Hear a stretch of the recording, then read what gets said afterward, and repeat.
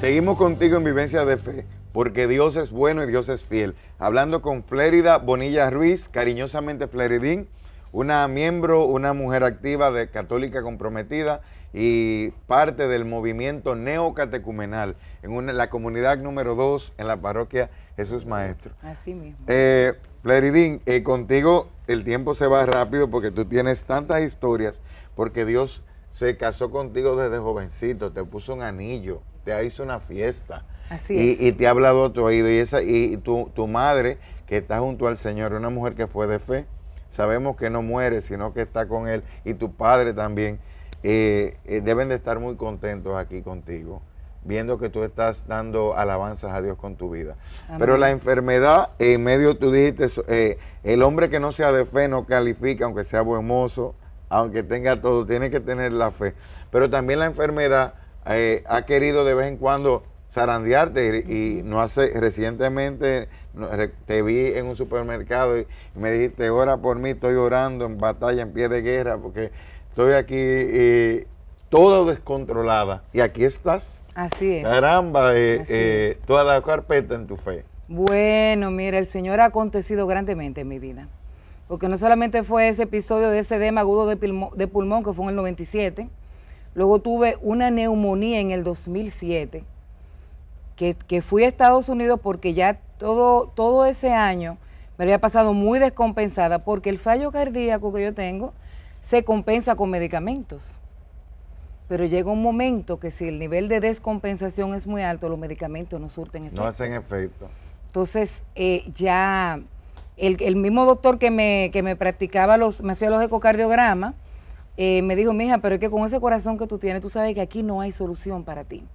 Entonces bueno, yo tengo familiar en Estados Unidos, vamos a Estados Unidos a ver qué opción. Pues entonces fui a Estados Unidos con la finalidad de buscar la manera de evaluarme allá. Pero cuando fui, lamentablemente, yo llegué el día primero y el día 6 muere mi abuela materna de un infarto y me toca a mí, que estoy en condiciones muy críticas de salud, porque estoy, han tenido que internarme para yo poder hacer ese viaje, de lo mal que estaba, me toca a mí asumir eso porque la otra prima que estaba ahí no hablaba inglés. Y yo fui la- soy la que me en voy vez, con mi abuela. en vez de ser ah, ah, añoñada, tú que estabas, tú lo que fuiste fue a, Me a- toca a- ese a- golpe. a- a cuidar, a soportar y hablar inglés para, para resolver el problema de tu abuela, que había fallecido. Efectivamente, entonces nada, fallece mi abuela, mi familia va para el entierro de ella y todo eso. Yo tenía una gripe y esa gripe se fue complicando y se convirtió en una neumonía. Entonces, eh, ya mi familia tenía que regresar, todos mis hermanos, para Santo Domingo y ellos veían que yo estaba muy mal. Yo estaba prácticamente repitiendo todo lo que había tenido mi abuela. Todo lo que había pasado. Y ya el vida. viaje sé que fue difícil porque tuviste que ir en silla de ruedas. En silla de ruedas. Y yo, yo supe por ahí, me dijo un pajarito que cuando tú, cuando llegaste, tú quisiste, tú quisiste animar a tu abuela estando tú Claro. enferma. Y le dijiste, abuela, yo estoy en una silla de ruedas, pero no es que yo estoy. No es que yo no camino, no, dije, y mira, yo me abuela muevo. te puso una carita de, de ay, la pobre Fleridín. Y, y aquí el de- el- lo que te ha parado son las oraciones. El Señor. te- Totalmente. ¿Y cuál es tu condición actual hoy? ¿Sigues en lucha? Bueno, ¿Sigues- sí, yo sigo con, Eh. eh, con un corazón con cardiomegalia ya en la clase 4, que es la última, porque ya el corazón ya está en, en su último. Es una insuficiencia cardíaca congestiva.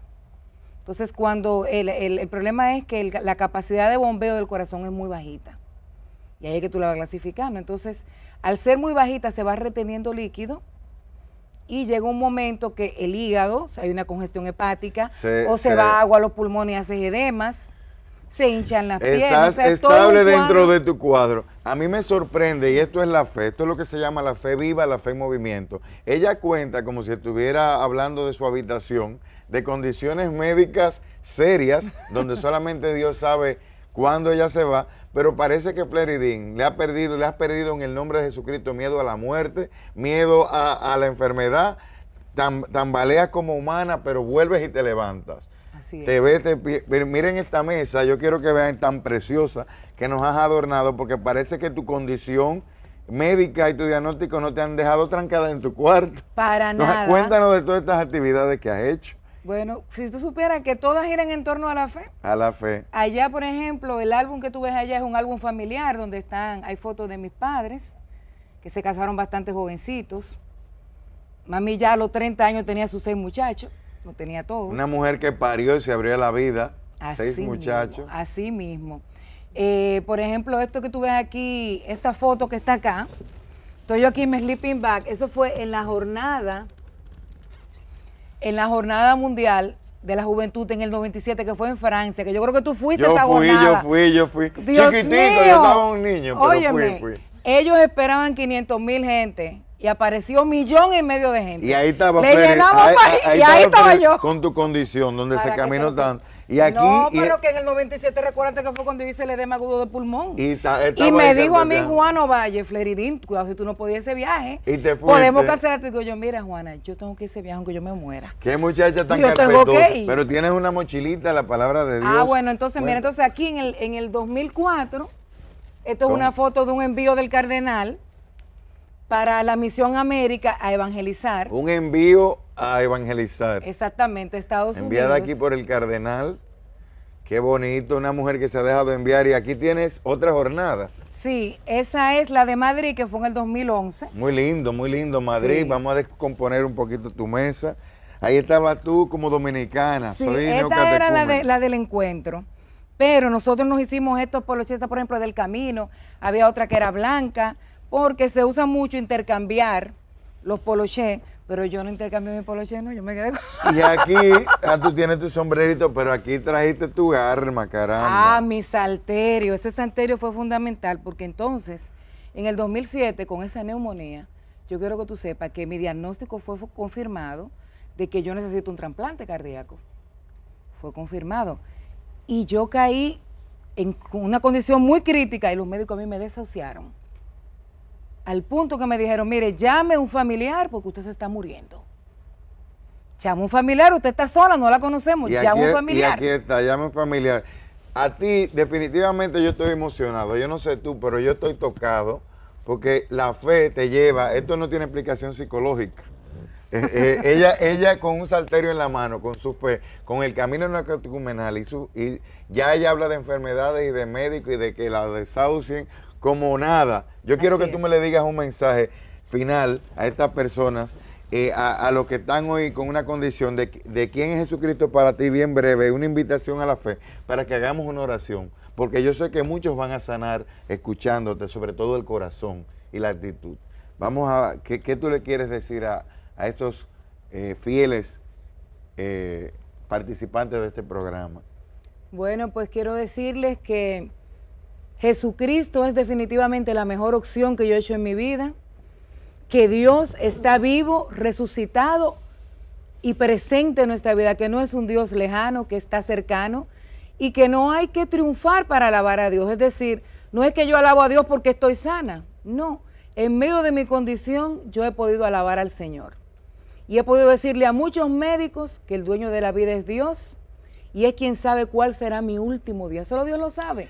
¿Cuántas veces me han llorado a mí? Eh, he podido, he podido, oye, he podido decirle a muchos médicos, he podido decirle a muchos médicos que Dios es el Dios de la vida. Me han llorado y estoy aquí. pues vamos a hacer una oración, porque no podemos, eh, no podemos más que alegrar y darle gracias a Dios por lo que va a hacer en la vida de estos enfermos que nos escuchan hoy, que con el alma sana nadie se muere. Así es. Buena, gloria, alabanza a ti, Señor. Santo eres Jesús. Te damos gracias, Señor, por, este, por esta bendición que has hecho en la vida de Fleridín. Gracias por porque tú eres fiel, por mostrarles el camino. Bendice las comunidades neocatecumenales, bendice todas las fuerzas vivas de la iglesia. Y a estas personas que nos escuchan hoy con una condición médica, con un diagnóstico o con orfandad que han perdido a su madre o a su padre, como ha hecho esta mujer, se encuentren tu consuelo hoy con Cristo, que vives y reinas entre nosotros, porque tú eres santo, porque tú eres bueno y porque tú te haces presente. Bendice, Señor nuestras vidas y bendice la vida de todas las personas que sufren en este momento y que tú has querido que estén hoy viendo y escuchando este, este programa para bien y para su salvación. Bendito sea, Señor. Bendito Gloria a ti, Jesús. Santo eres, Señor.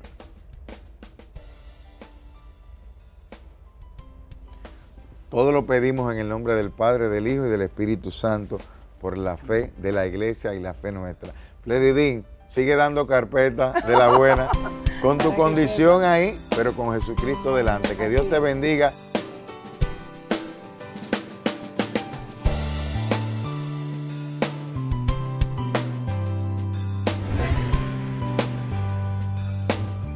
Quiero compartir contigo, luego de este testimonio que tenía aroma a Cristo, aroma a café del bueno, delicioso, a café espiritual. Qué lindo el aroma de la vida de Fleridín, una mujer que le ha creído a Jesucristo. Piensa en este cafecito para ti, anótalo para que lo medites, que te dice así, en el nombre del Señor, cafecito espiritual. No importa lo difícil que haya sido tu pasado, no importa lo desafortunado que parezca tu presente, abre tu corazón, tu mente y tu alma al futuro que tiene Dios para ti, porque Él tiene planes que los va a cumplir simplemente cuando le digas sí. Qué bonito es saber, qué bonito es creer, qué bonito es saber que el dolor no tiene la última palabra. Como cantamos en las vigilias pascuales, los que tenemos fe, cantamos, oh muerte, ¿dónde está tu victoria? Oh muerte, ¿dónde está tu guijón? Ni enfermedad, ni las lágrimas, ni la soledad, como hizo Job en su fidelidad, lo apartaron de la fe. No importa lo que estés viviendo ahora en este momento, Dios, así como estoy moviendo este cafecito, quiere mover tu corazón, quiere mover tu alma. Ve a una iglesia, confiésate, confiésate de tus pecados, ve al sacramento de la reconciliación, busca un grupo de oración o busca algún movimiento, vea, haz una catequesis del camino neocatecumenal, o vea el movimiento cursillo de cristiandad, o vea algún movimiento de María. No importa, la iglesia que es madre maestra te está esperando para actualizar tu bautismo y vivas tu vida en él. Que Dios te bendiga. Simplemente dile a Dios, Señor, aquí estoy, vive tu vida en mí. Nos vemos pronto en tu próximo Vivencias de Fe.